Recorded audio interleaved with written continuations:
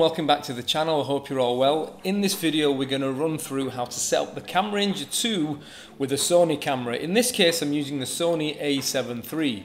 Now before we get into this step-by-step -step process of what you have to do, let's start off by looking at the way I've got my Camranger 2 mounted to the Sony. Now whether I'm shooting photographs or shooting video, the Sony stays in this SmallRig cage. And this allows me to use a SmallRig monitor mount um, and that is what I'm actually using to connect the Camranger to. And it just allows me to have the Camranger off to the side of the camera rather than having it directly on top and above the lens because I'm pretty much going to be using studio flash and I'm going to need that space for my trigger. So I've got the Camranger off to the side and what's really nice about this is you can actually set this up in such a way where it's very much um, compact and it doesn't, doesn't get in the way at all. And what I like about Camranger is actually sent me a really nice small USB type C cable uh, which just fits perfectly well. It's not sticking out, it's not too big. Now before you even go into setting things up, you have to be aware that when you're using the Sony cameras, you have to use an SD card within the actual Camranger. Where you think you've got it in, it's not in far enough. So you've got to like use your nail to get it all the way in it's recessed quite deep within the actual unit.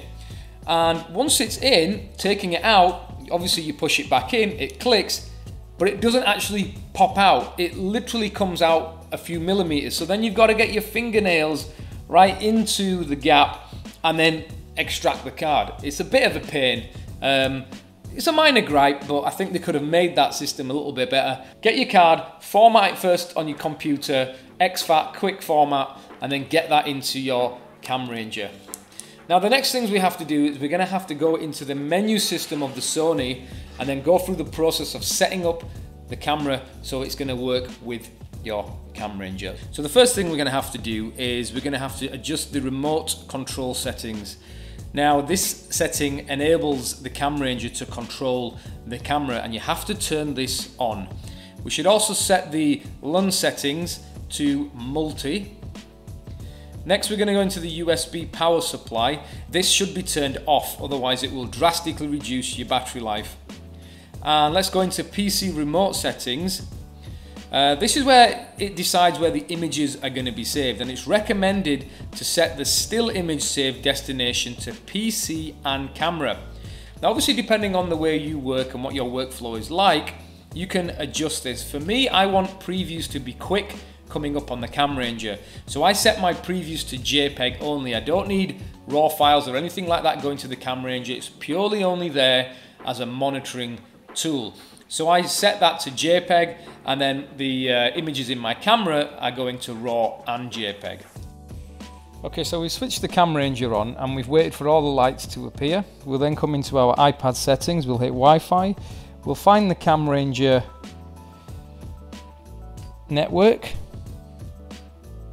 and here we've got ZFI 2.4, I presume that's the gigahertz, and then 5. I always select the first one. We'll open up Camranger, we'll hit the connect button, and we've got that ready. Now it says unable to determine Camranger SD card status. If the SD card is in the Camranger, please try removing it and then reinserting it. Now I've had this issue several times with the Camranger and it's probably the, the weakest point of the Camranger and that is the actual SD card connection. I mentioned earlier on actually getting it in and out is a bit of a bit of a pain but also it tends to do this quite often even when it has been formatted.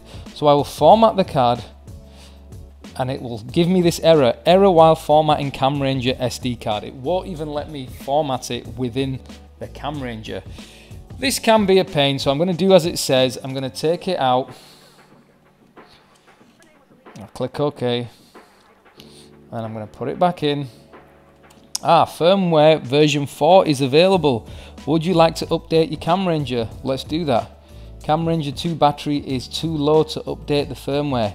Please connect to the Camranger and try again. So I'll have to do that later. Let's put the card back in again. Let's see if we have that same issue. Seems to have gone in just fine. We'll turn off Camranger, turn it back on again, and we'll try and connect. Okay, We'll update the firmware later. So this time the card seems to have been recognized totally fine. It's a little bit of a bug. Maybe that update will actually improve it. We're going to look at the transfer speed. And before we do that, we have to understand that the transfer speed is going to be affected by the size of the JPEG and the standard of the JPEG that's being sent over. Okay, and this is the same as it was on the CamRanger 1. So if I change my settings on my camera, I'm just going to go into my menu settings over here. And I'm going to go to JPEG file um, quality. I'm going to go to extra fine. JPEG image size, I'm going to have it as large. So that for me right now is the highest quality JPEG setting. Put the camera down and we'll take some shots and we'll look at the speed in which it takes to transfer. So I'll take a picture now.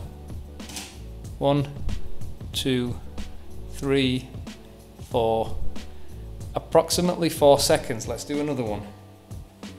One, two, three, four, five, six. That took six seconds. Let's do another one. One, two, three, four, four seconds. And we'll do one more. One, two, three, four, approximately four seconds it takes when we've got our camera JPEG quality set to extra fine and we've got the JPEG size set to large. Let's change it up again and let's see what we get. I'll just focus here for you. Okay. So we're going to menu. We're going to pick the JPEG quality all the way down to standard we're going to go JPEG size all the way down to small. And we'll do the same thing again. And you will see the difference in time. Let's take a picture. One, two, two seconds. Let's do another one. One, two, almost less than two seconds. Let's fire a few off quick. One, two, three, done. Okay, so the JPEG quality is going to determine how fast the transfer is. So if you know you're going to be only editing raw images and you only need your JPEGs as a preview, then by all means set your JPEG standard to um, JPEG quality, sorry, to standard. Set your JPEG size to small. You're going to get very, very quick transfer. Now for me working in the studio, I'm going to keep my JPEG quality, I'm going to keep my JPEG size at large, I'm going to keep my JPEG quality at standard. I want to have full-size JPEG images along with the raw images because there might be times when I only want to edit the JPEG, so I want to have that flexibility.